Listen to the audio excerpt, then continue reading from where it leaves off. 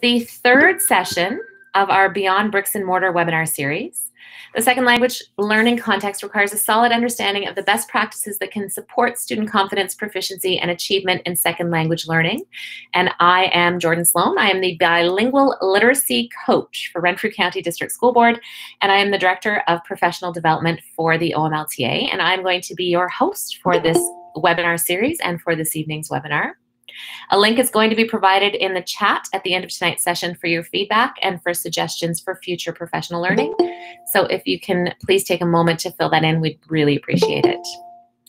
Tonight, we're going to be exploring a topic that's new to most of us as teachers in elementary and in secondary panels, and that is assessment and evaluation in the digital environment. We are going to begin with a presentation by each of our panelists showcasing their learning, their ideas, and their takeaways. We are going to then address some of the most common questions that were sent in during the registration. And we're going to finish with an open floor discussion. If you have any questions that you would like the panelists to address, please write them in the chat and I will do my best to bring them forward at the end. Our learning goals tonight are to know so we are going to identify the ways in which assessment for, as, and of learning for FSL learners in the distance learning environment and hybrid learning environments differ from face-to-face -face learning. We are going to identify effective and equitable practices for assessing FSL learners in the distance learning environment and the hybrid learning environment. And we will learn to adjust conventional face-to-face -face assessments in the FSL classroom to suit the needs of diverse learners in the distance learning environment and hybrid learning environments. I'd like to introduce you to the panelists this evening. Erin Colson is a grade 7-8 French immersion and grade 8 core French teacher teaching online in Peel. She is also a Google certified trainer who's passionate about empowering modern learners and inspiring success in FSL learners. Adam White is joining us. He is a learning consultant and has been working with a team of French teachers in our in his board um, he was inspired to support teachers because of the ways he saw confidence growing in students when they were given the opportunity to use their French for authentic and meaningful purposes. And our third panelist this evening is Haley Brooks. I'm sorry, I'm letting people in at the same time as I'm presenting, uh, is an FSL ELL learning coach in Timmins, Ontario, and currently teaching grade two and three French immersion virtually. She is a DELF formatrice and correctrice, and outside of professional life, loves being outside in Northern Ontario. I'm now going to pass you over to Erin Colson, who's going to start our presentation this evening. Merci beaucoup, Jordan, et bonne soirée à vous tous. Je vous préviens que je vais animer cette partie de la formation en anglais. So let's get started. To begin tonight, we are going to speak about how to build a framework for assessment in FSL within both the online and the hybrid environments. Jordan, tu peux avancer. Voilà. When the pandemic first hit and classrooms all over the world moved online, many teachers coped by trying to maintain familiar patterns of learning and trying to replicate traditional models of schooling. Teachers really quickly learned that it is even more important in the online environment, however, to offer meaningful student centered tasks as well as opportunities to nurture that human connection, which we've all been missing since we've moved to the online platform. The online environment has led us to rethink how we frame learning opportunities and the ways in which we evaluate the success of our students. When we explore the differences between the online, the hybrid, and the traditional classrooms, such as you see on your screen, we really need to ask ourselves what kinds of learning patterns are most successful successful? How do they differ between the learning environments? How can we foster social emotional learning using the digital tools that we have at hand? As you can see in the graphic towards the middle in the red section, it shares in all of these settings, teachers guide learning, communicate with students, monitor assessment, and develop course content. But where online instruction differs from some of the other models is the need to leverage technologies, technologies that we may not be entirely familiar with, so that we can create adaptive, flexible learning environments that feel personal despite the absence of that in person connection. Go ahead, Jordan. As we dive into effective assessment practices in a digital environment this evening, I want you to think about your kind of classroom. And with that being said, we have a fun little minds on just to get you thinking about what you prioritize in your FSL classroom. Is it this or is it that? You could try this out on Twitter if you're feeling very high techy this evening, and you could screenshot the picture and annotate your preferences. If you're feeling the tech bug, what you can do is head on over to hashtag OMLTA and share your preferences. But if you're feeling low digital, what we can do in our class is offer students this kind of a provocation. So with a show of hands, let's take a look at a couple of these just to dive into assessment. Please put your hand up if you prefer holistic rubrics. So use the raise hand feature at the bottom right hand of your screen and raise your hand if you prefer. All right, we've got some hands up there. All right, I'll ask that you put your hand down. And what about single point rubrics? How many of us have moved on over to single point rubrics? Raise your hand, please, if your preference is the single point rubric. All right, there I can see there's about seven or eight that have raised their hands. Let's try one more. Do you prefer a student-led classroom, even in a virtual or hybrid environment? Please raise your hand if you prefer the student-led environment as best you can with the tools that we have. All right, I see about 10 hands up. Thank you so much. Hands down for a moment. And what about a teacher-led environment? So think about the way that online learning must by necessity look different. How many of you feel most confident in a teacher-led online environment? All right, we see some hands up there. So thank you for sharing and starting to think about this provocation and how your priorities may well have changed since we moved online or hybrid. Jordan, go ahead and move to the next slide, please. So in the online environment, answers are really at the student's fingertips more than ever before. Google Translate becomes ever so tempting. If it wasn't tempting before, well, it's really tempting now. And so the focus of learning, well, it needs to change, and it needs to change in a hurry. It can no longer primarily be about memorization of content. Instead, it needs to shift to competencies and conceptual understandings. In other words, as you see on the screen, the triangulation of evidence becomes even more important. But we need to ask ourselves, how is this going to look different in that online world versus the face-to-face -face environment? So the graphics you see here give you an idea of how conversations, observations, and products can in fact be included in online assessment practices. Instead of paper and pencil tasks, consider asking your students to demonstrate their learning within something like a collaborative podcast.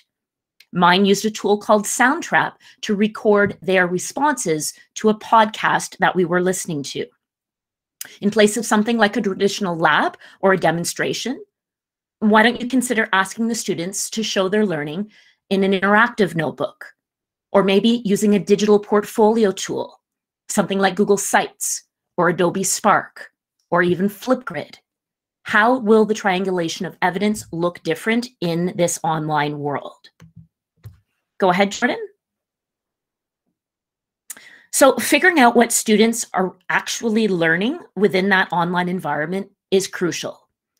Teachers don't need to entirely reinvent themselves and reinvent those formative assessment practices that we're used to in the classroom.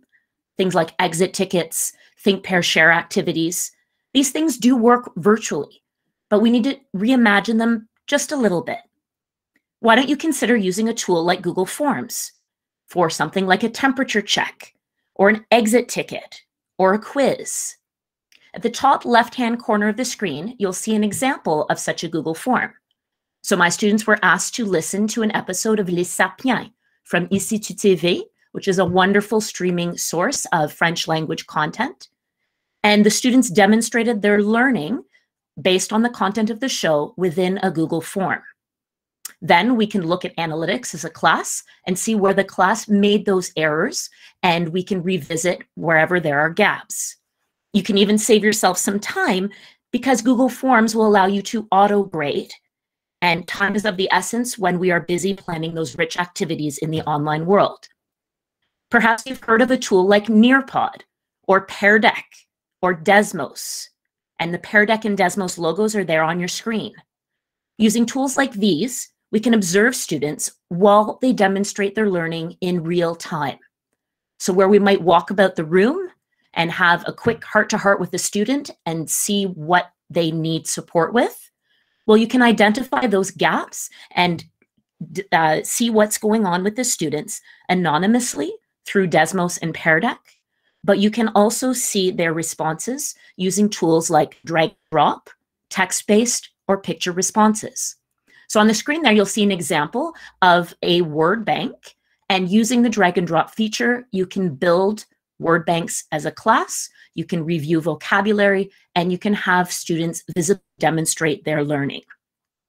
Another tool you likely have heard of is Jamboard. Jamboard is a powerful tool to frame assessment, particularly in this online environment. Students can use the annotate features to mark up an image, provide a written response, or like they did here, capture their thinking en français about the year in pictures. And you'll see there, there's an image of Kobe Bryant, and the students were asked to respond using expressions such as je remarque que, je pense que, ceci me fait penser de. And so using a visual provocation and a markup tool like Jamboard, we can really get some insight into what they are thinking. Go ahead, Jordan. So it's really important to create authentic assessment activities, whether they are diagnostic, formative, or summative. The graphic you see here shares some of the best assessment practices within that distance learning environment. Consider embedding gamification, for example. Kids love games like Kahoot, Quizlet, Gimkit, especially the new Among Us version, which is uh, supposed to be coming back in another couple of weeks, or something like Blooket. Why not check for understanding while students are enjoying playing an online game and get some of your formative assessment that way? Continue to provide clear and frequent feedback, whether you're using something like the comments feature in a tool like Google Docs, or you might be using something like the audio comments feature using a tool like Mote, which is now a built-in extension in the Google Slides environment. Or perhaps you might create a feedback portfolio using Google uh, Slides or Google Docs or Google Sites so that the students can document their progress over time. Whatever approach you choose, it's extremely important to break down those complex assessments into smaller components when you're working online so that you can have frequent check-ins, whether you're using audio feedback or written feedback, but so that students have checkpoints at various points in the learning environment and can act on your suggestions. Go ahead, Jordan. And Mote, M-O-T-E, yes, it allows voice notes and it now has built-in integration into Google Slides. So you don't have to uh, record using another voice tool like Vocaroo or Voice Notes. It is built in slides and it will allow you to provide audio feedback to students. So in speaking about feedback, effective feedback should be timely, actionable, and it should improve student performance. So here you have some examples of ways in which I provide ongoing feedback to students. Some of my students use a tool called an interactive notebook. Slides Mania, and you'll see the logo on the screen there, is a really great source for templates, not just for teacher-led lessons, but also for hyperdocs or for things like interactive notebooks. All of my students use interactive notebooks and they link their daily work as well as their assessments in one place so that we do have that progress over time in a pictorial form. But most importantly, myself as the teacher, I go to one spot and everything's there and it's nicely organized. When I provide summative feedback to my students, I actually embed the feedback in a shared doc using Google Docs, and I link that to a Google site. Then parents, students, and myself, it's a one-stop shop that they can get feedback. So whichever tool you prefer, the key message here is thinking about your workflow how can you maximize your time while also ensuring that you provide timely, actionable feedback? And some of the suggestions I have to that end are audio notes, which are quicker than writing notes, using something like Mote or using an interactive notebook or a portfolio tool such as Google Sites. Go ahead, George. So, like many of you, I've really had to rethink this past year how I frame my assessments. Pictured here, you'll see an example of a digital literature circle. And so my students were asked to select a short story from the website called Storybooks Canada.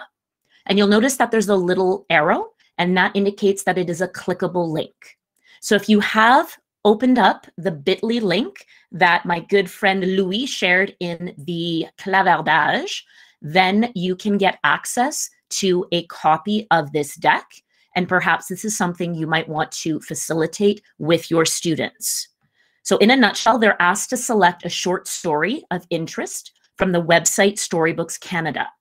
If you're not familiar with Storybooks Canada, it offers leveled, culturally responsive texts in multiple languages. From there, students were asked to complete a set of predictions using the picture word inductive model. They were also asked to practice reading the text by listening to a read aloud. So if you go in Storybooks Canada, you can actually play back the story. You can select the speed for the playback, and you can see a transcription so that students can mm-hmm. follow along using the playback mode on Storybooks and they can practice their pronunciation. For the culminating task, which is also embedded within that deck, they were asked to create a virtual classroom. So these were all of the rage last spring, and I capitalized on that by asking the students to create their very own virtual classroom. So what you see on the right-hand side is an example of a student in core French, and this was her classroom. And so she needed a pictorial representation of herself. She needed to design the French classroom. And hidden behind those images are things like access to Stores Canada can demonstrate learning about the book, as well as une bande annonce to promote the story. And there's a few other things that are hidden there. So she has become the teacher, and in a creative way, she has framed the learning for the other students in her class.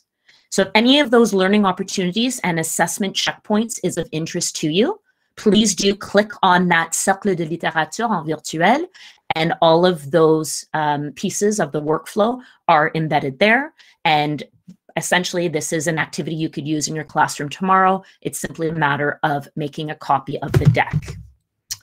Jordan, super avancer. Perfect. So communication looks very different in the online world. I teach grade seven and eight students, and in my experience, they are often comfortable sharing in the chat. They are not comfortable being seen on screen, and they are less inclined to share the ideas aloud. So I have to trick them, and I trick them by motivating them, empowering them, and getting them all fired up about the questions I have on the screen. So to encourage them to unmute and share their voice, I encourage you to build a climate, a culture of human connection. And so one of the ways I do this is by having students participate in fun little check-ins, particularly at the start of the day, to spark that conversation. Alternatively, you can consider engaging students in student-directed models. Consider using a themed hyperdoc. On the right-hand side of the screen, you'll see an example of a hyperdoc for the unit in grade seven science, La Chaleur, and all of the resources needed to complete the learning cycle can be found by clicking on those buttons there.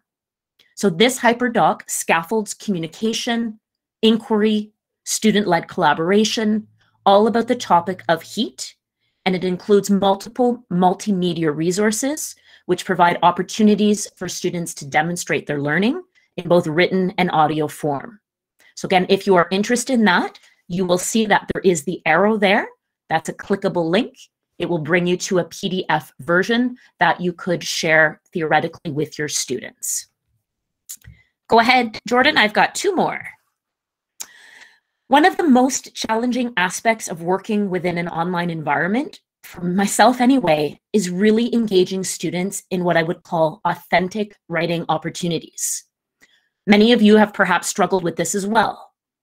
So one solution that I have found is a learning model called La Twictée.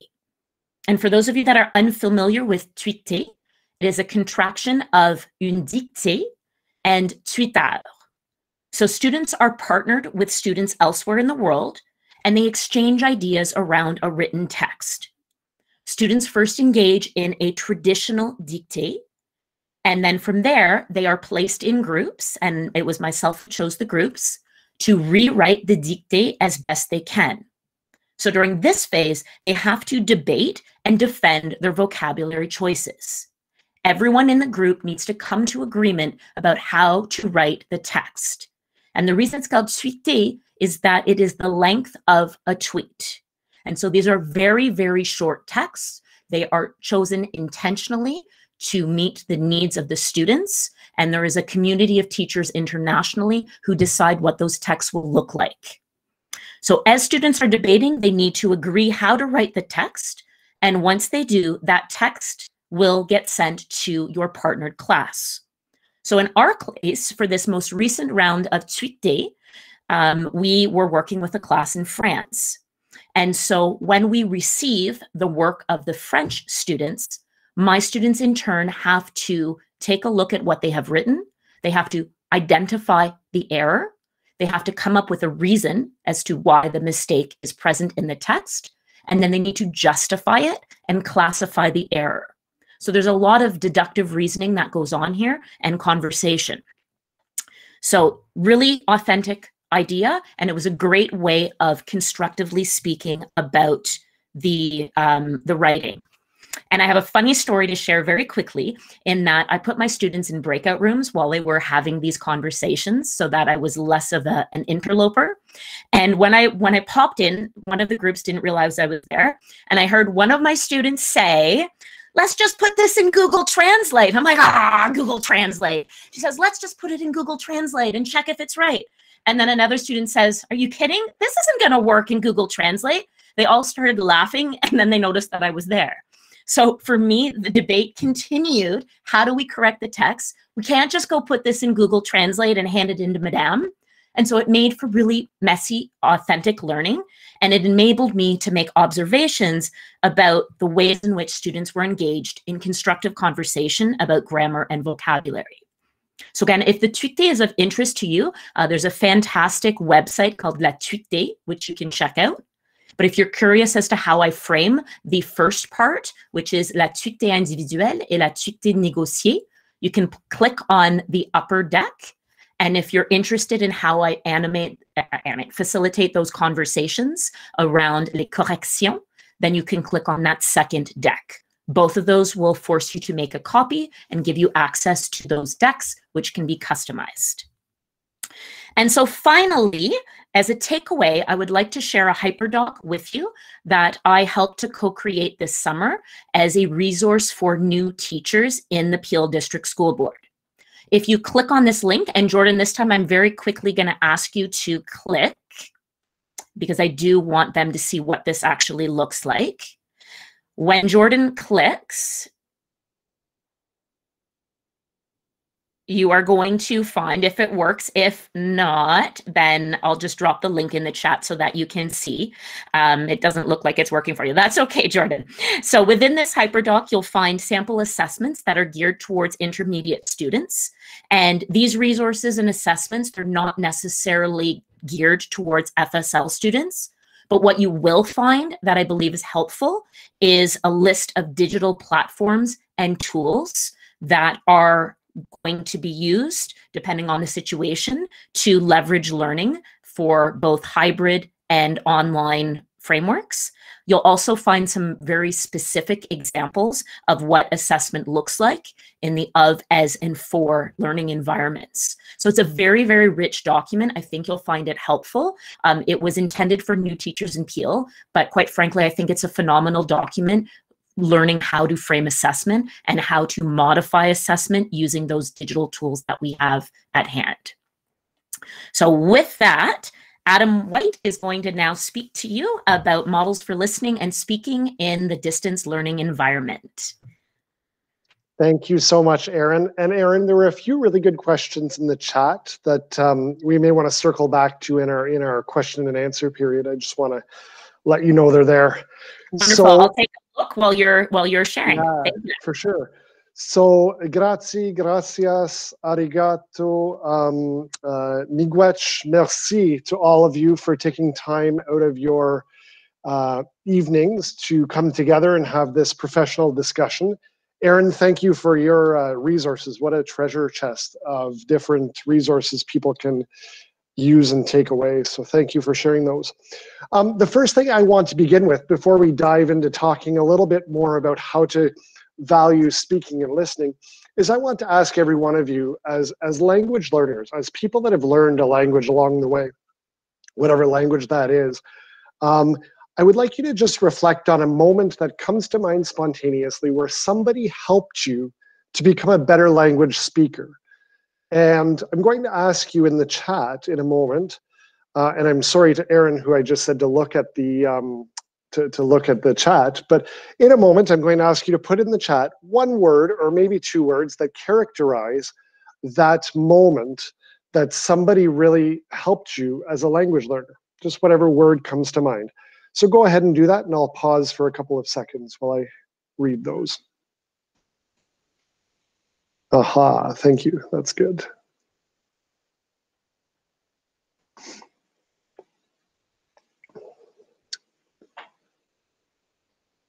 Thank you. Thank you. Patience, culture. Thank you. Culture, caring, confidence, practice. Thank you. Don't fret over the errors, good connections, real life events. Thank you. Insistent warmth, feedback, okay to make mistakes, support, culture, keep them coming, confidence, had fun and enjoyed the humor and silliness. Thank you. There's the chat. I'm going to ask, uh, we can stop there, but if you have something to say, you can add it human connection. Those are awesome. Lots of talking French. And so what I've just done there um, would be an example of how I would use, and I did have a chance to work a bit with a grade five, six virtual immersion class just before the holidays this year. And what I did there um, was a quick check-in, but it's going to inform where I go with this discussion. So it's almost one of those assessment uh, as learning or assessment for learning pieces, uh, just to check in to see where you're at. Because one of my thoughts is we really want to create that environment, that same kind of environment for our students that that person created for you. And I will just point out there that not a lot of people made a specific correction of a mistake in particular. In fact, there was a lot of don't sweat the small mistakes. Um, nobody pointed out uh, a specific vocabulary error. There was the support, there was the cultural piece, the appreciation piece, the patience piece. And those are all the things that are best practices when it comes to assessing students. So all of that is meant to frame where I'm going to go next. So merci beaucoup, Jordan. Um, we'll look at our first slide in this section to remind us, and this is from a wonderful resource on transforming FSL that is called um, Grammar in Action or Grammaire en Action. And within that resource, this image references our A1 and A2 and B1 learners, really. And it really provides us with that visual of what is most important for our language learners. And I love these pie charts, and I love reminding teachers of them. But I think as teachers, we even have to go further than that and share these with our parents. We have to be educating parents uh, that this is where their students are at in their learning and we need to be helping our students uh, to understand that it's okay that in the very beginning, you need to be listening to lots of French. We had some awesome music on at the start. Et merci beaucoup, Jordan, pour ça. It put a smile on my face. But it also was just great exposure to that French, rich French language and vocabulary that we can hear. We need our students to be talking. And yes, there has to be some reading and writing that goes on. But it's not until we get to B2 and we can't put like an age or a grade level because it's all a continuum. But I think as colleagues, we can all agree that our students aren't reaching B2 until well into their secondary years for the most part. So with that in mind, most of our students are still in those first two pie charts, and we want to really focus on that in our learning, but also in our assessment practices. Merci beaucoup, Jordan. So the couple of things I wanted to dive into with our curriculum documents, both elementary and secondary, that really give us permission to change the way we look at assessment. And Erin talked about a lot of these already. But within our curriculum document, there's a vision and there's goals right at the beginning. And, and I find teachers, they know that we, we know they're there, but we're so focused sometimes on our, on our expectations for our grade level that we forget that front matter of our curriculum that really frames everything. So two of the goals that I think really apply well in terms of giving permission to be creative in our assessments and to be new in the way we look at things are the goal that students need to use French to communicate to inter and interact effectively in a variety of social settings, which pulls back to Erin's idea about the social pieces that we're missing. And then we have to use effective language learning strategies and if you go back to any of your curriculum expectations at any level in French, you're going to see the word strategies come up more often than you think. And that's another way to look at assessment is to help our students think about strategies. And if we go back to the words that you just put in the chat, a lot of that supportive and encouraging and caring, we're building up your strategies to learn a language and use a language. They weren't building up your knowledge necessarily. That was a byproduct, but it was the strategies that were helping you. Merci, Jordan. And if we continue on that, we go to this uh, uh, below the same table that I just showed you, is that we want our students to acquire a strong oral foundation in the French language and focus on communicating in French. We want our students to understand the value of learning another language, and we want them to develop the skills needed to strengthen traits of resilience. And I think that's so cool that our curriculum document references resilience right from the beginning and to secure a sense of self through opportunities to learn adaptive management, coping skills, and so forth. Coming back to the word resilience, though, I think a lot of our fear around assessment in the hybrid and in the distance learning models is that it doesn't quite feel and look the same that we had in the classroom. But what an opportunity to help our students grow in that resilience and grow in their abilities to you know, independently choose strategies or with help choose strategies that are going to uh, push them along as language learners. So any of these things that are at the front matter of your curriculum are also fair game for you to work into your assessment. So we can be asking ourselves, are our students acquiring that strong oral foundation? Are they growing in their confidence? Are they understanding the value of learning another language? Yes, we need to do more than that. And Jordan did a uh, Erin, I should say, did a great job of showing us some of the tools she's using to build those skills. But if you dig down deep enough, everything she's doing ties back to these goals. And these goals tie very closely to the words that I saw in the chat a moment ago. Merci, Jordan. So I want to frame our, our discussion on how do we help students acquire a strong oral foundation then? And how can we shift the language or the focus of effective language learning strategies? So how can we shift our focus to looking at those strategies, that is? Okay, merci, Jordan. So we'll look at a couple things. We know this is what we want our classroom to look at, look like. And I've put a link into this. This is a snapshot from a video on transforming FSL that shows all kinds of great strategies for building that language um, interactive piece in a classroom. So it's how do we take this model and be creative about creating it in, a hybrid or in a distance learning model? Merci, Jordan. And uh, what we're going to do is look at grade eight expectations. These are grade eight immersion, but they're very similar to every other. Um, they're very similar to every other expectation, core, extended, and immersion. Uh, but it's in the speaking expectations. So we know we want to evaluate speaking to communicate, speaking to interact, and intercultural.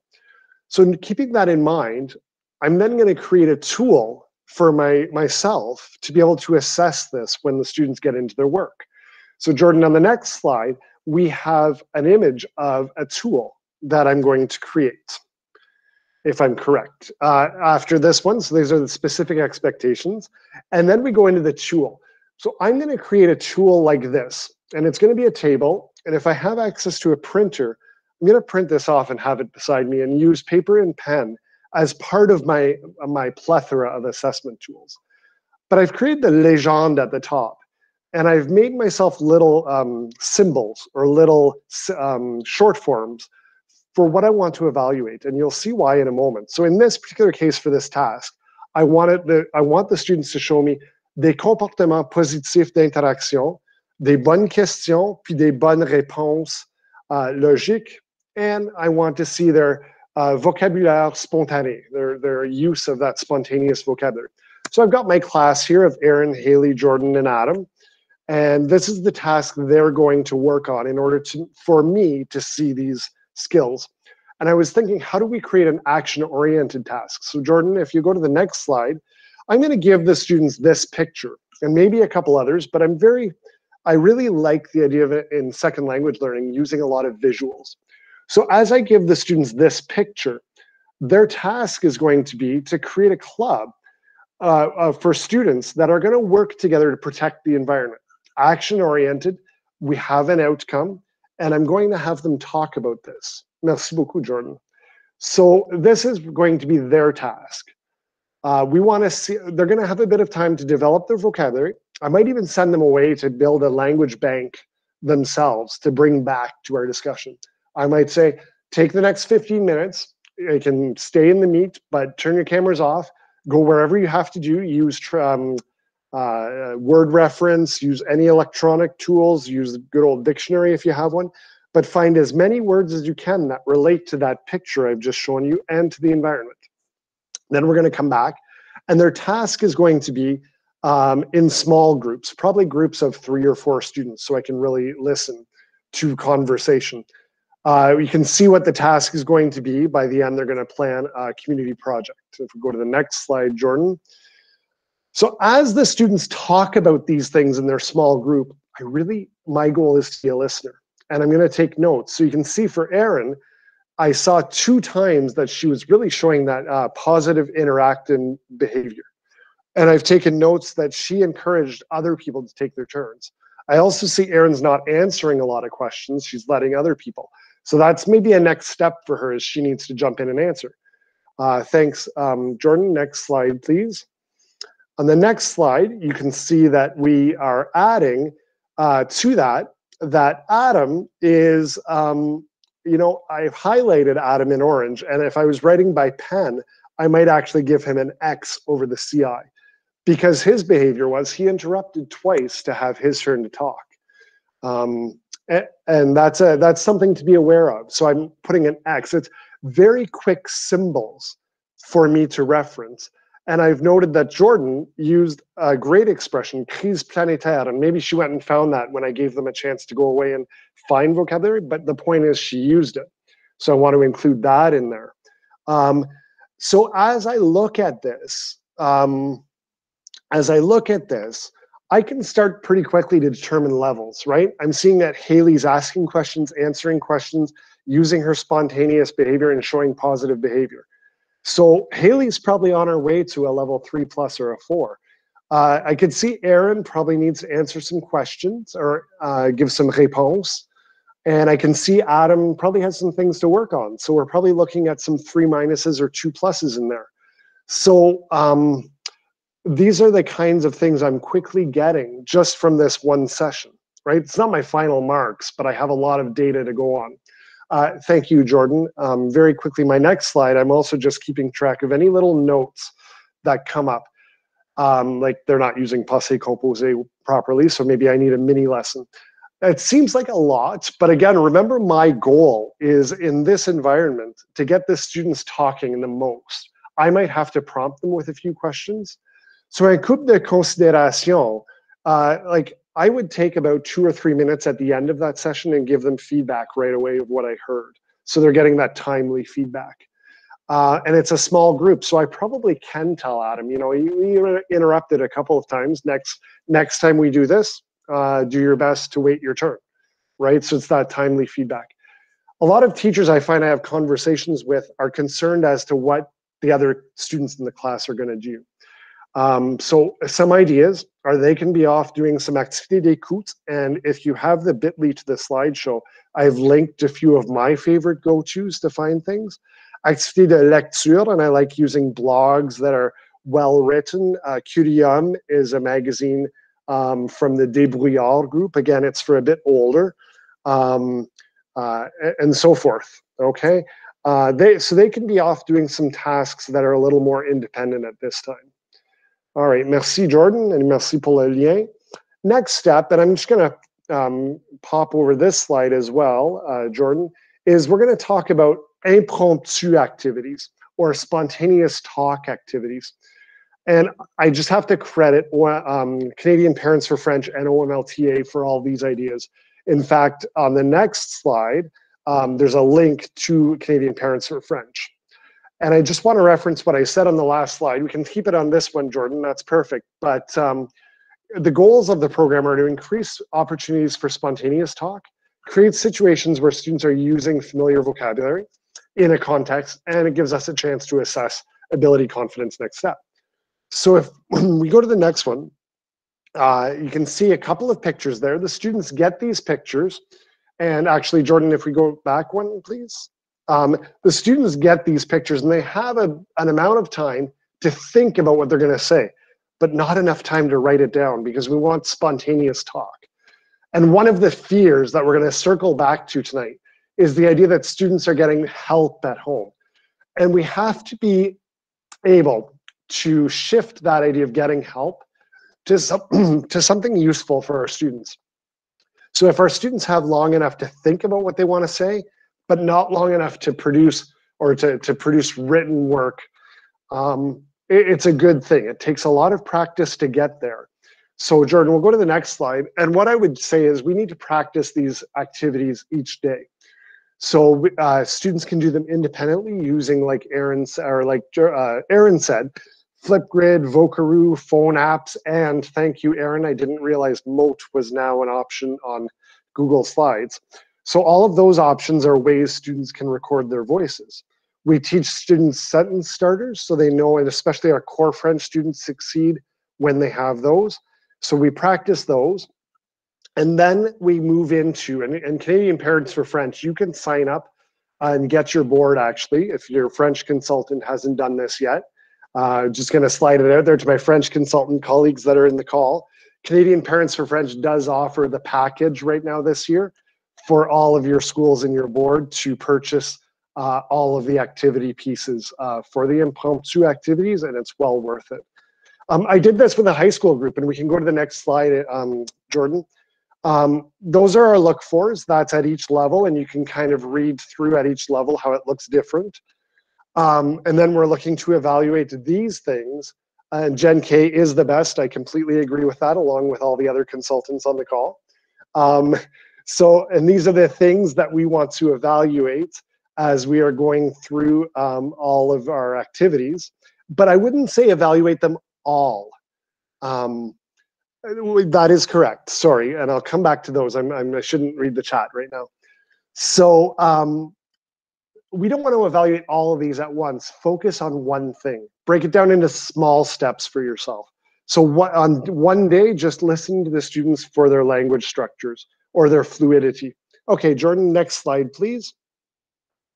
We can do it individual, and I told you how you could do that in recording, but you can also have individual meet times with your students and have them speak back to you. You can even bring in people like retired French teachers from your board, parent volunteers perhaps that speak French if they're cleared, um, uh, and so on and so forth.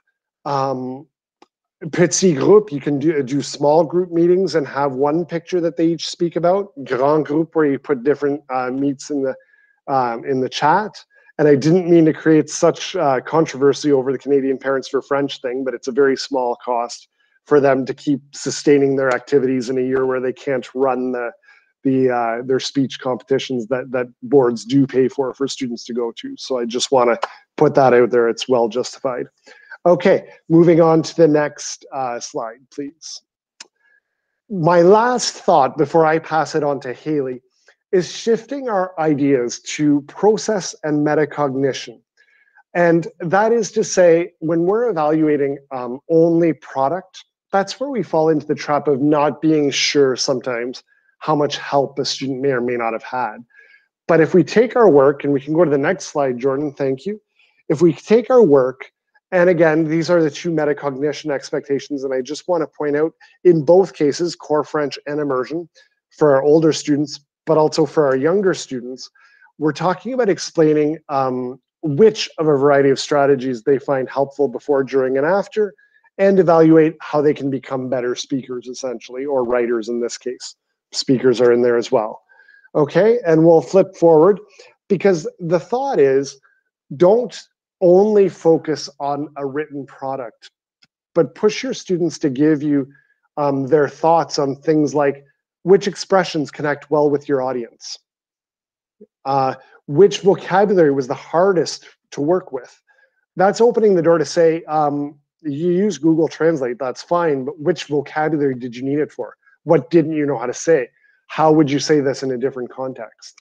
Um, which paragraph are you most proud of that you wrote? How did you create it? What were your steps? And I want to encourage this also, like Erin said earlier, to be done orally using something like a Screencastify or Vocaroo. So those are just some tips and tricks that, that I have in mind.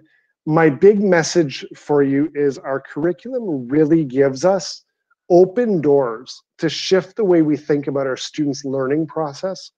And it's quite all right to really focus on learning process rather than just final product because we know learning a language is a process that we never truly finish. So merci beaucoup. I'm going to pass it over to my colleague, Haley now. Oh, you know, before I do that, can we go back one? And thank you, Haley. Give me a moment. I forgot this was here.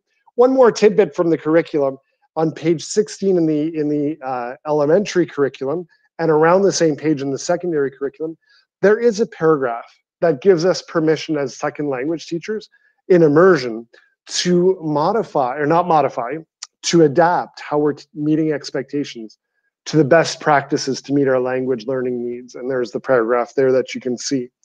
Uh, and I will now pass it to Haley. Thank you.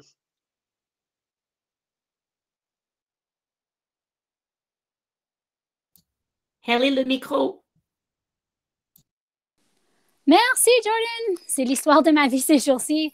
Euh, bonne soirée, tout le monde. Euh, je suis vraiment heureuse d'être parmi vous ce soir.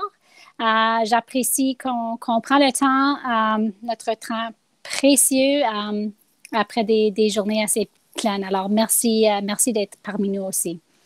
Um, so tonight I'm going to uh, just share with you some snippets and thoughts in terms of strategies to support some in the moment assessment with our students in our virtual classroom setting.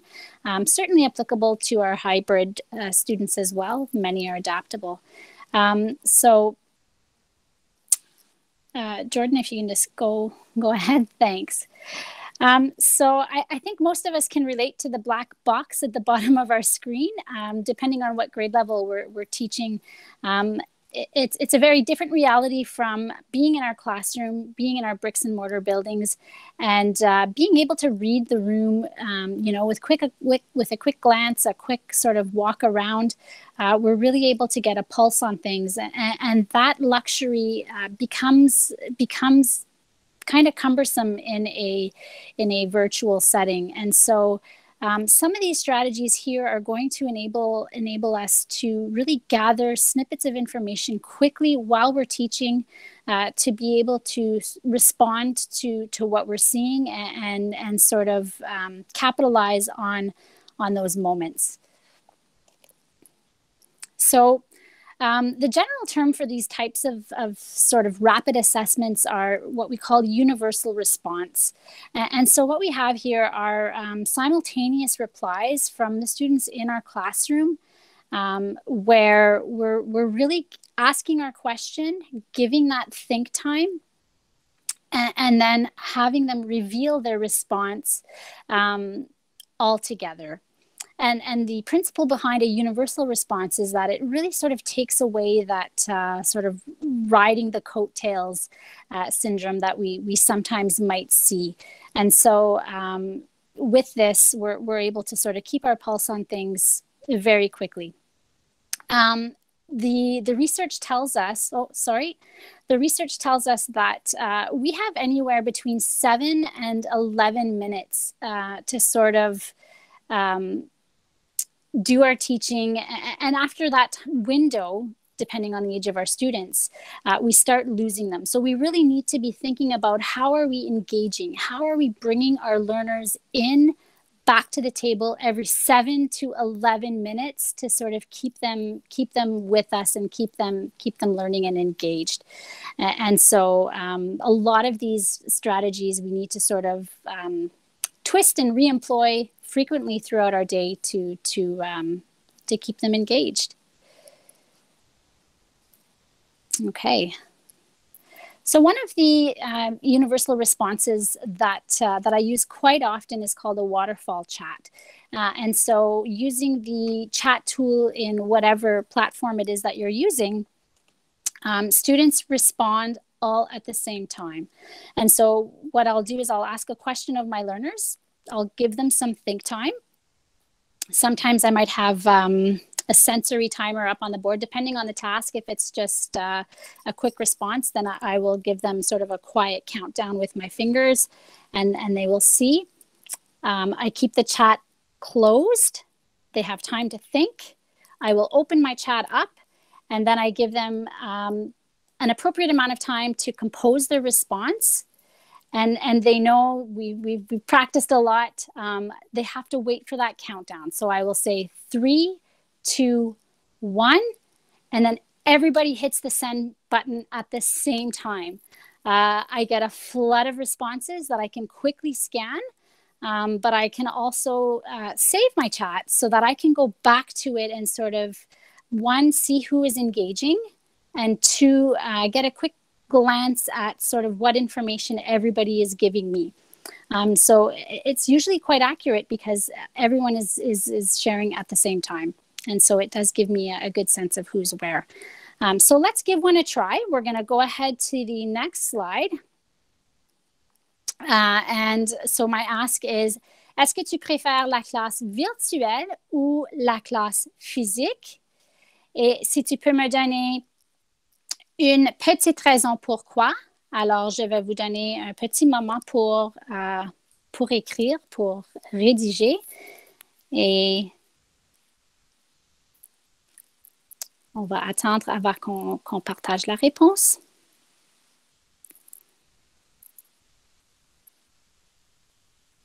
Alors, 3, 2, 1, envoyer.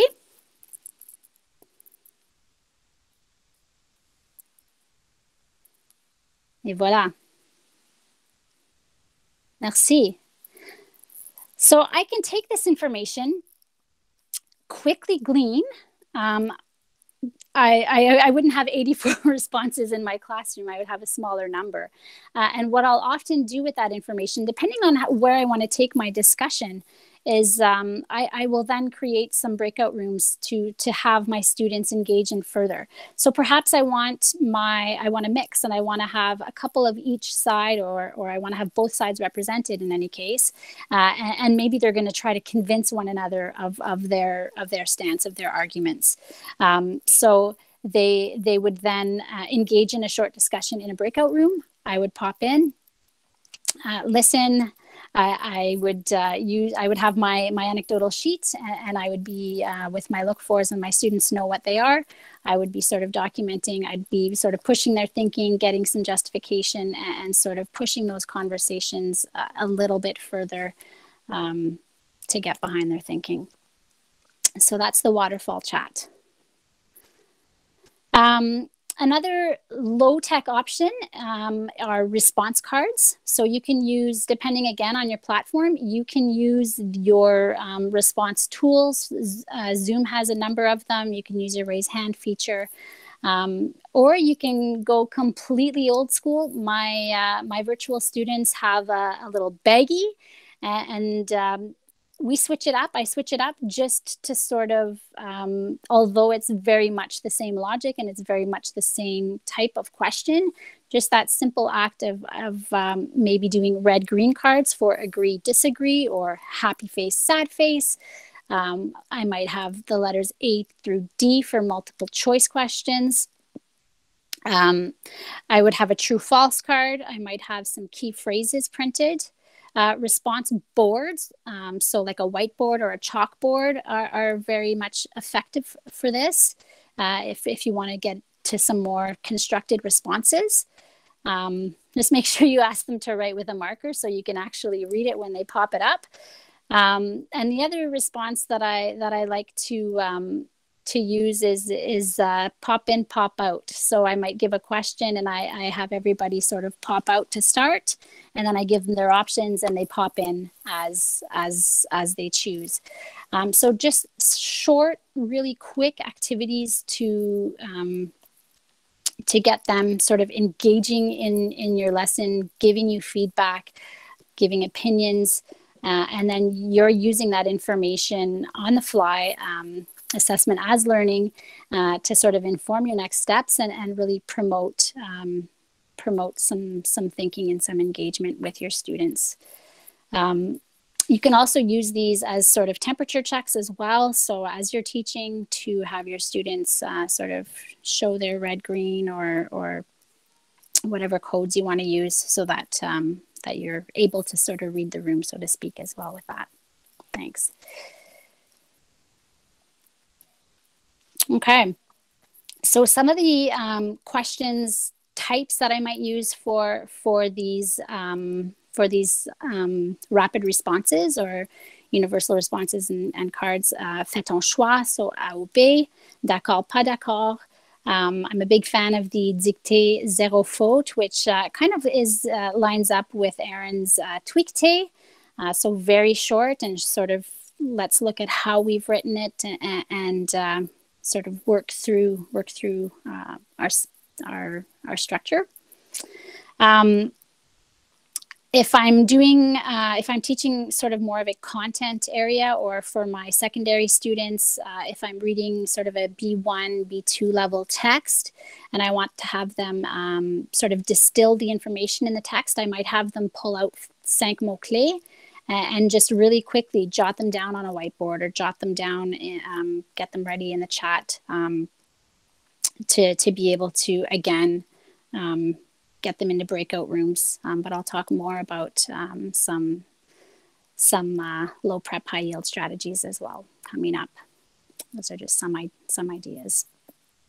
Another universal response uh, structure um, that takes some time to uh, to sort of get going, um, but once once our students know them, uh, they're they're very efficient.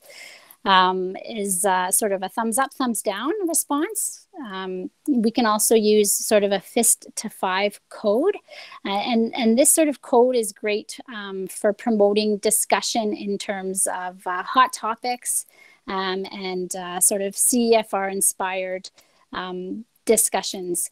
So uh, if I'm if I'm going to provide a, a prompt or a provocation, uh, I might have students respond. Um, so uh, the fist would would mean that uh, I'm not really ready yet. I need some more information.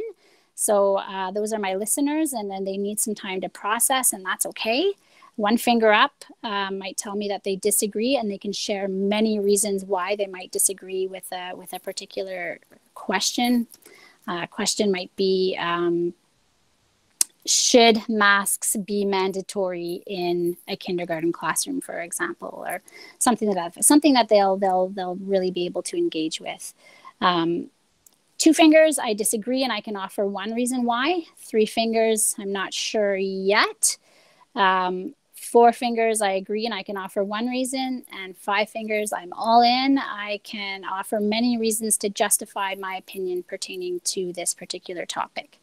Um, and these hand signals are really valuable for me when i'm making my breakup breakout rooms um, because I want to have a balance of, of students who who have information to share, students who need to hear more, um, and after they've come out of those breakout rooms, they've now had an opportunity to to really process and, and distill the information uh, and then construct their own independent responses. Um, so it really is supportive of uh, scaffolding the learning for, for our students who who may be less expressive because um, they're able to to um, to benefit from other people's contributions and, and sort of then come up and make their own. So hand signals.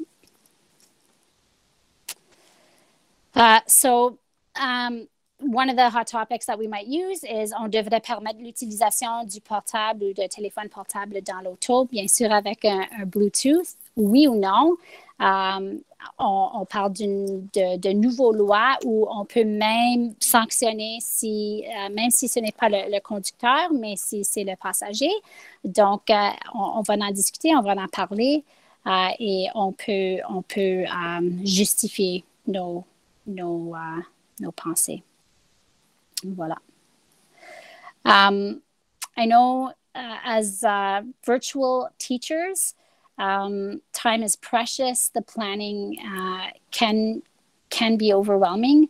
Uh, I'm a huge fan of using thinking routines. So uh, there's two sites that are linked there. So if you're if you're in with the Bitly, you can uh, you can get in. Unfortunately, I haven't found an amazing site in French. If anybody knows of any, uh, I just sort of translate and use them as needed. Um, but they're very comprehensive. The Thinking Pathways site um, provides a lot of um, photographs of samples of what that thinking routine looks like once students have engaged with it and, and completed their thinking, uh, their visible thinking around uh, whatever routine it is that you're using.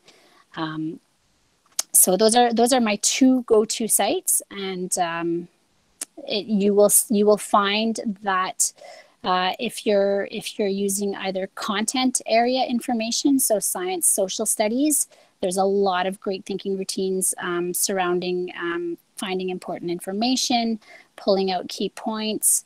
Uh, and if you're using um, texts that are for your French classroom for CEFR inspired discussion and, and um, discussing your opinion, uh, there, there are very specific thinking routines surrounding those as well.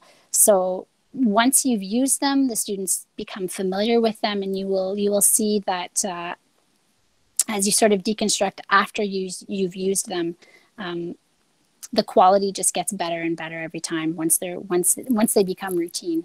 Um, so I'd encourage you to to give those two sites a, a quick check.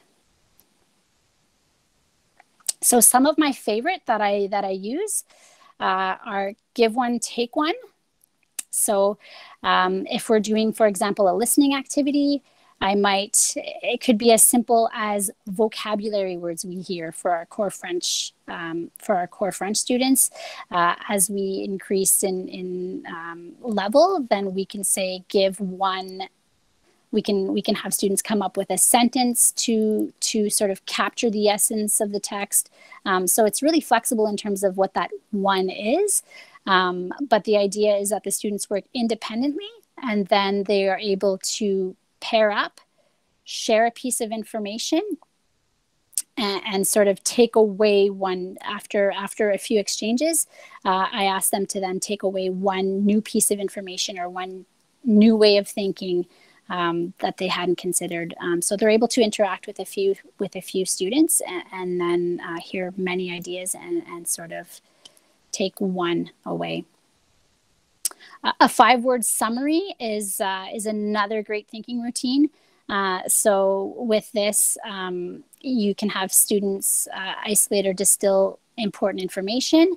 Um, the idea with this is then uh, once once I've done the reading, the students sort of identify five important words uh, related to the reading or the text or the listening that they've done. They then pair up with a partner and they have to come to consensus. So each person will share their five words, and together they have to uh, eliminate five or come to a consensus on five. That group of two then becomes a group of four, and again, they go through that same exercise of um, coming to consensus on five words. So it really encourages uh, students sort of um, justifying why their word is important and, and, really talking about the content of the text and, and why why they've sort of settled or landed on those words. Um, my other one of my other favorite uh, thinking routines is sentence, phrase, word. So again, uh, we we read a text or we listen to a video. Uh, I'm going to document one sentence that is important to me or maybe that was impactful to me. Uh, I'm going to isolate one phrase and then lastly one word. And um, and then um, we can we can then share we can partner we can partner up and and sort of exchange ideas uh, and then possibly as a class we can we can consolidate and, and come up with with uh, with a consensus there or uh, we can compose uh, a short summary there's there's lots you can do with these with these routines all right and um, one of the other one of the other uh, tools that that will keep keep our students engaged and give us uh, snapshots are, are polling tools.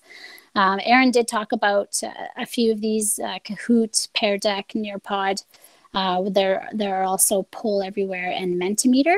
Uh, if you haven't used Mentimeter, Mentimeter has a lot of different functionalities within it.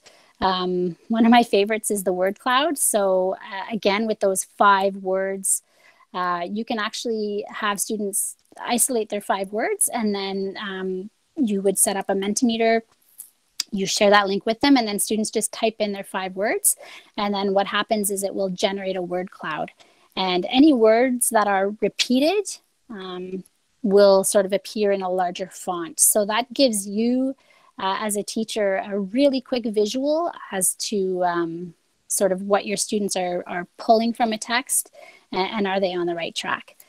Um, and when I say text, obviously, I mean um, either a listening text or, or a reading text. It could be it could be any form, of course.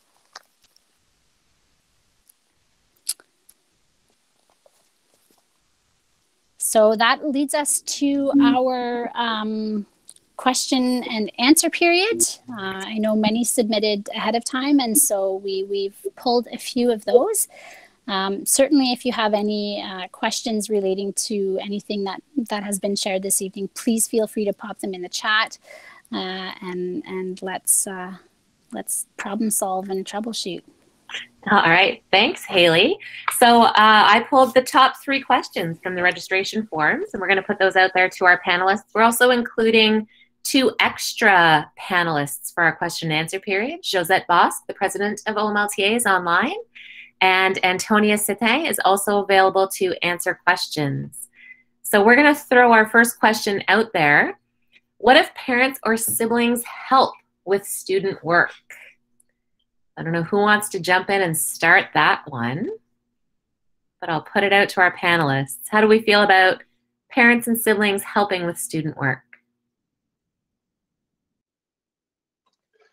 I can get the conversation started and then I would invite all of my colleagues to jump in. But but I think what we what we talked with our virtual teachers about, and this was a long process to get them to the point where this wasn't a um, where this wasn't a, a, a point of, of huge stress, right? It became a point of smaller stress and that is uh, inviting that partnership and learning into the, the learning environment and valuing um, from a French perspective, because that's part of our conversation tonight is, is the French or the language piece. You know, uh, capturing that time where the student can be teaching the parent or teaching the sibling some of the learning uh, is one way to, to incorporate that and open the door to those conversations and channel some of the will of parents or siblings to want to be involved in younger students learning. Other ideas on that one?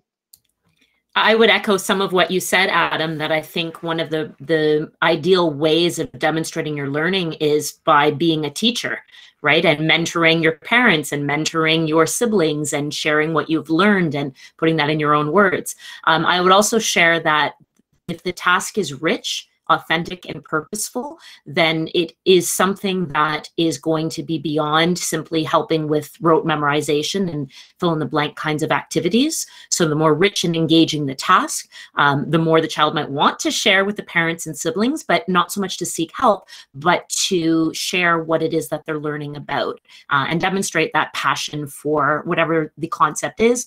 Um, so really, it, for me, it's the, the focus on conceptual learning and building the competencies in the class classroom versus assigning tasks that are rote based, where we would be concerned about them helping, quote unquote, with the student work.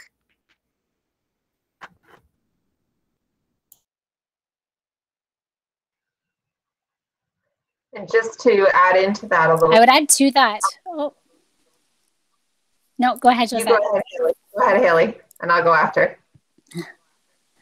I was just going to add to that. Um, I think providing parents with, uh, I don't want to say a script, but um, some sort of key questions, some good, rich questions that they that they might ask their child uh, to sort of get at their learning and get at their thinking, um, so that they can engage that way as well. And just to sort of add on to what was already said, I think there was a point earlier on looking at how do we how do we set up and structure so that that involvement builds on. But also we've had conversations in our board as well around um, how do we deal with not just parents but also students using platforms like Bon Patron to correct their work and really thinking about um, what it is and going back to our curriculum and what it is that we are evaluating in their work and are we actually evaluating based on those overall expectations and so are we looking at how do the students understand and demonstrate their learning rather than the mechanics of things? And you know things like the grammatical correction they're going to that's a good skill to have. And so using the people in your house using the tools online those are good skills to have.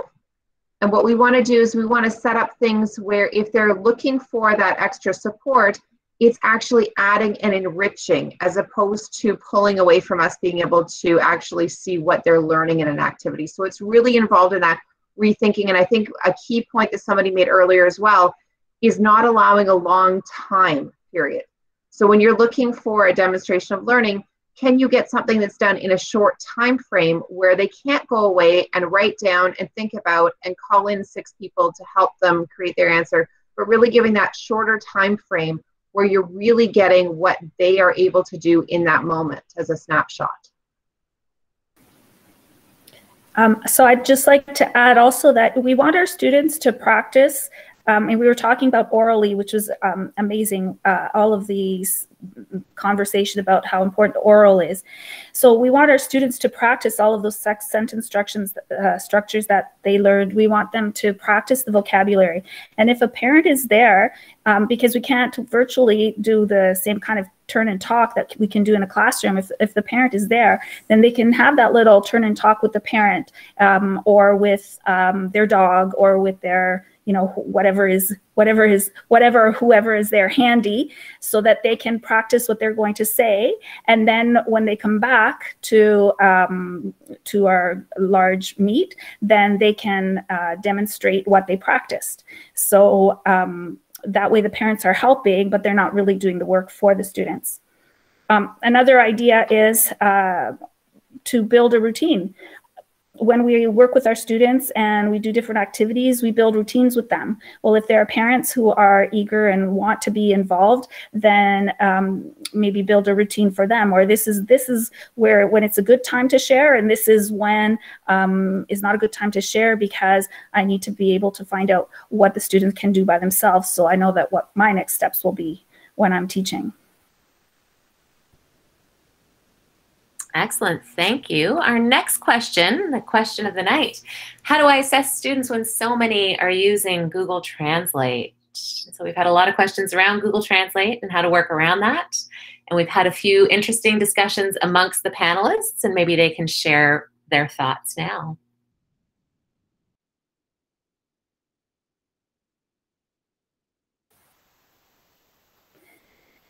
So, Google Translate could be a good tool, but um, it's the assessing part that we're we're struggling with, right? Like when when can how do we know that what the student is writing is actually what they're writing? So some ways to do that is uh, again limiting the time. So letting the students write something or doing it um, all together. Have um, a, a, shared document or google slides where the students are each adding at the same time so that you can actually see them writing and what they are contributing. You know that it's authentic because they're doing it right there while you're there. That's one idea I think turning those uh, written tasks, if if we're if we're using uh, Google Translate, uh, into a into a follow up discussion somehow, and really hearing the students, um, discussing what they've written uh, will will provide some really great insight into into uh, how much they've learned as well. I want to point out Hilda's point, I think, in the uh, chat just now, and I like that one too, that using Google Translate or uh, another tool the first time you don't know how to say something can be a very acceptable thing to do.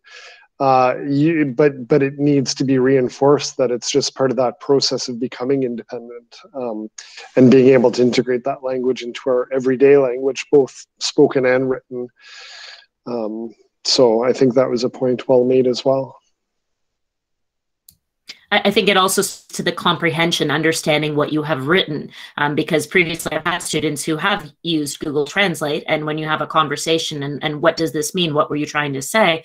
And they can't recall what it is that they were trying to say. So I think that's where that that gap is. That you you know if they're using it to learn a new word or an expression, by all means, if that enriches their ability to communicate. But if it's simply to get a task done, then I think we need to reevaluate the kind of task that we're giving the students because um, we really want them to be rich kinds of activities where we get students like my student said can we use google translate with this? No we, have got to use our brains. We have to have a debate about what words to use and why are they okay? So for me something like that was just so transformative in that the students can't use these tools. They really need to use their minds and speak with one another and use the power of the group to uh, write the text versus the power of the computer so to speak I think Erin as well, though, you made a really good point. I think Adam, you might have made the same point. That idea of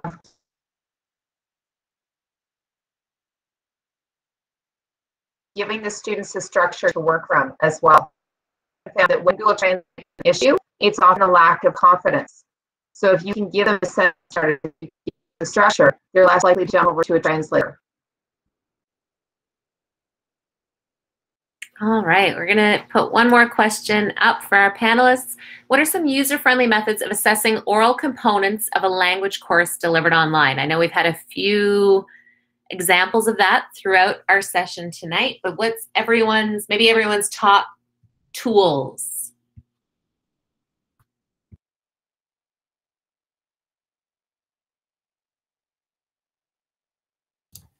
Well, I can start. I, there's there's several tools that immediately come to mind, but there's three that I'll share very quickly.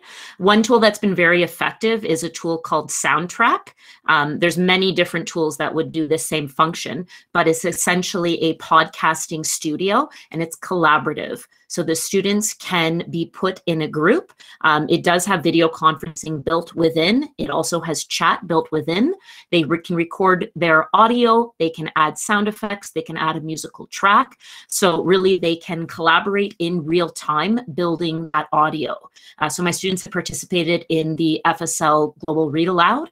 And as their culminating task, they were asked to put together uh, a panel discussion just like this in the role of the characters and speak to some prompts about the text. And so they used Soundtrap to record the audio to have that conversation. So they were able to work through the task in Soundtrap and then they were able to build their final product within Soundtrap. And it was a great way of creating a published uh, audio track that could then be shared with um, you know parents if I so choose shows.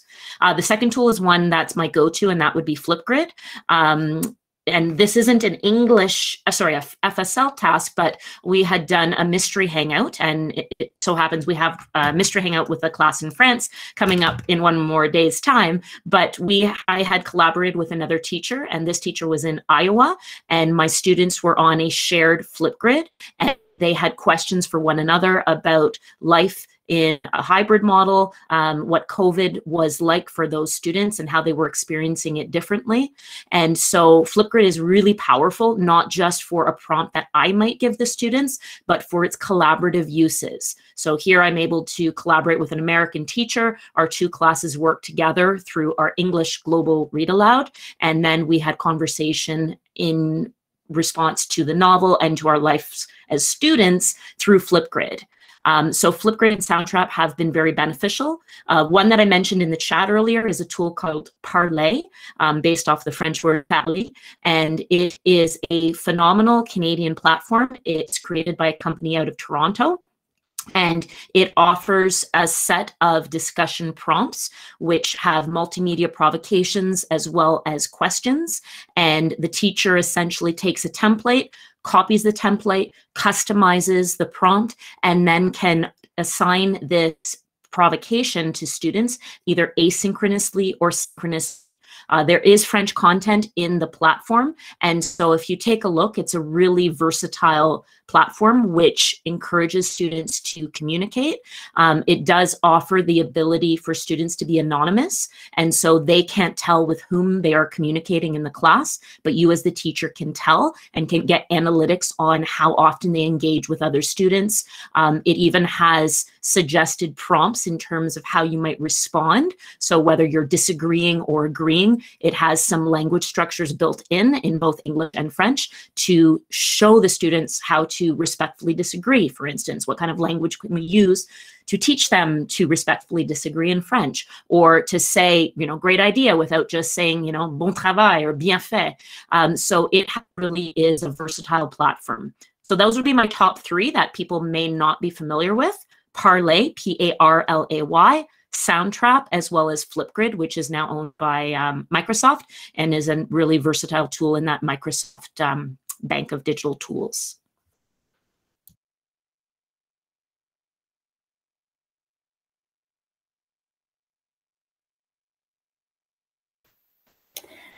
I like the idea also of uh, having uh, portfolios, so, so collecting samples of students speaking over the course of a period of time.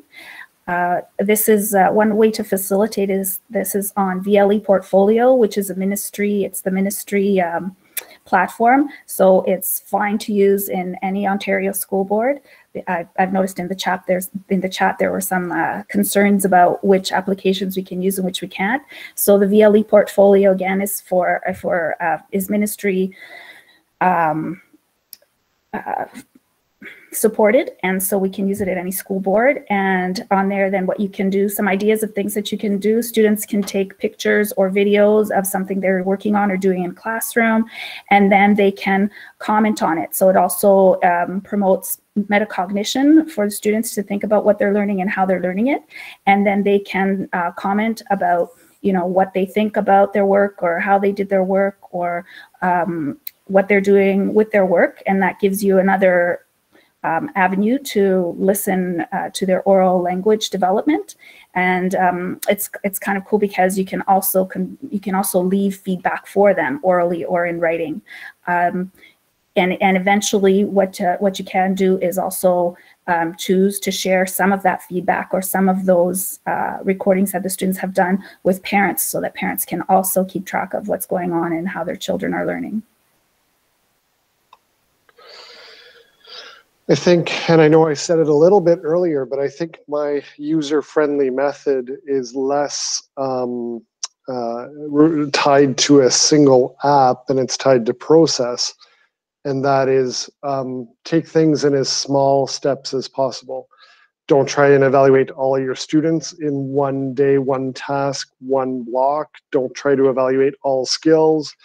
Give yourself that focus of one thing that you're specifically looking for and if you know that, let's say, Erin and Josette are struggling with their spontaneous vocabulary, pick one day for spontaneous vocabulary. Say Thursday's your spontaneous vocabulary day. And those are the days that you know you're watching Erin and Josette specifically on that skill. And you can differentiate that way as well. So no matter what tool you're using, um, focus your goals and yourself uh, right from the beginning on what it is that you're looking for. I think having that tool as well, Adam, is um, allows you to do that in the moment assessment as well. Um, some of these um, some of these applications, such as Flipgrid and, and um, others, where students will record and you go back, um, although you don't have to listen to all of them, it is it is uh, time consuming to sort of go back on all of those productions. So I think uh, really spending the time to develop those tools that you're going to have at your fingertips and, and, sort of use them daily. And I remind my kids every day. We we we start our interactions with. Uh, our understanding of what our success criteria are for that interaction. What am I listening for? What am I looking for? Let's do it and it's in the moment. And I, I choose a few every day. And so by the end of the week i want to have my little square box. I'm, I'm old school. I have my paper pencil. And uh, i have i have that little box for every kid. There's there's something in there um, anecdotally. And um, it's gold. I think haley is so on point with that. I used to um, one of the things I found particularly useful at the beginning of a year, beginning of a term, is sit down with the students and create um, co-construct some success criteria for oral communication so that they know anytime we're doing an oral communication activity, these are the things I'm looking for. And then you can remind them and refer them back to that so that they have that right in right sort of front of mind. They know I'm looking for. Are you using the vocabulary? Are you using the language structures? What are we looking for when you're adding a comment? Is it enriching the conversation you know what all those things that are really important to us and linked back to the curriculum. And the two others that i would put in there is book creator is a great one. And then if you happen to be a board that uses google the read and write tool that allows you to add voice comments and voice notes is fantastic. And one of the things you can even do super fast super easy you give the students either a text or a video prompt at the top of a google doc stick their names in there. Their job is to just highlight their name and add a voice comment related to that prompt that you gave them and then other students can also type their name in underneath and attach a voice comment responding to what somebody else said. So this made me think that I agree, I disagree. Again, give them those sentence starters, but it's a really fast, really easy way to just get them creating that spontaneous oral production and link that rubric right back in so they remember what those success criteria are that you're looking for. Super quick, super easy, but gives you some really rich data.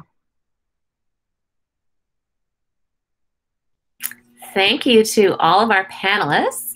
I'm going to just do a few things before we kind of move on and open the floor up to questions if there are any, because there are quite a few people that need to leave because it is getting to that time. Um, I've posted a link in the chat for your feedback. We really appreciate hearing what you have to say about this session and about what we can do to provide upcoming sessions for you if you'd like to learn a little more.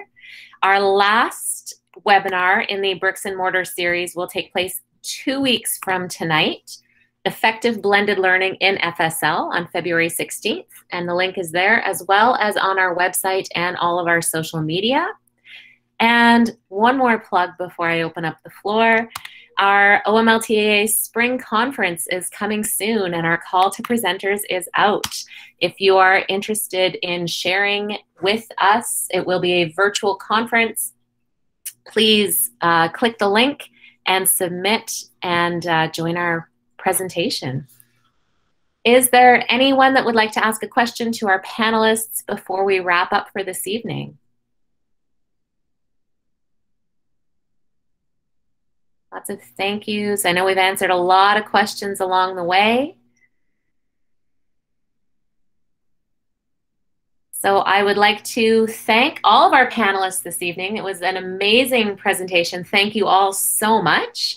For those looking for the recording, they will be sent out uh, as soon as everything is processed. You'll get this in your email. Thank you all very much. I'm going to stop